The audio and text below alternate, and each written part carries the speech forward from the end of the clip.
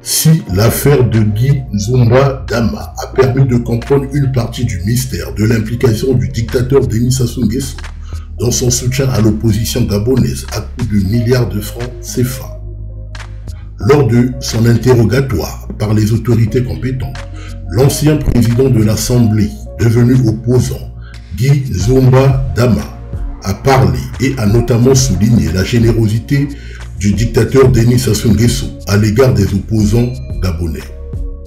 L'empereur, comme l'avait qualifié Alassane Draman de la Côte d'Ivoire, et Alpha Condé de la Guinée-Conakry, n'a pas cessé de planifier un coup de force contre le régime d'Ali Bongo, avec qui il entretient des relations conflictuelles depuis le décès d'Edith Lucie Bongo et d'Omar Bongo Ondimba.